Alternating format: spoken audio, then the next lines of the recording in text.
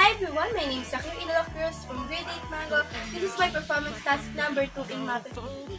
This is submitted to Mamadora De Leon. For today's video, we are going to do the Milo Champion Habit PS Home Circuit Exercises. So, let's start! Ang gagawin natin ay apat na exercises featuring speed, agility, strength, and power para lalong lumakas ang katawan. Una is speed highness for 30 seconds. Happy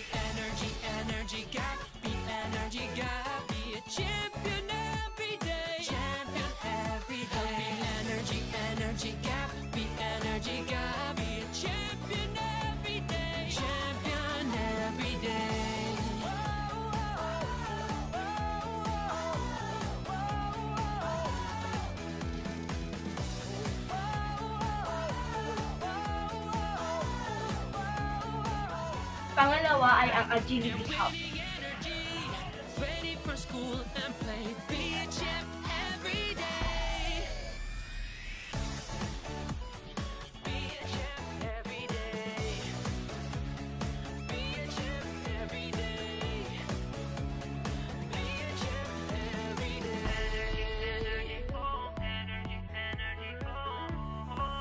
low energy, but I'm like low focus. Got but got energy gap. Yeah, four out of five kids have it.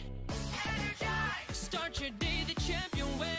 Be energy, energy gap. Be energy gap. Be a champion.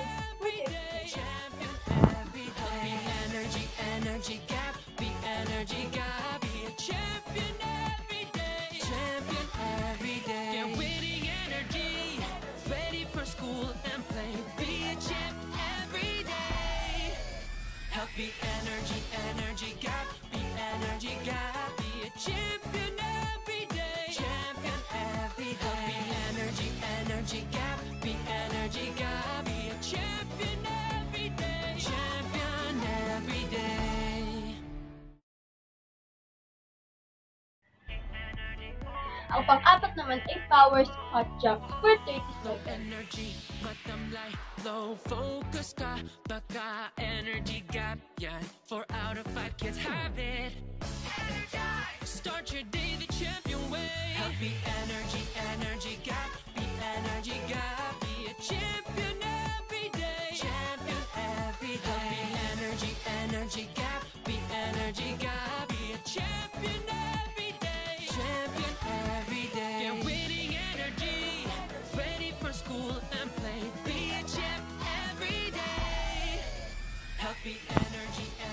And that's it. I hope you learned something from my video.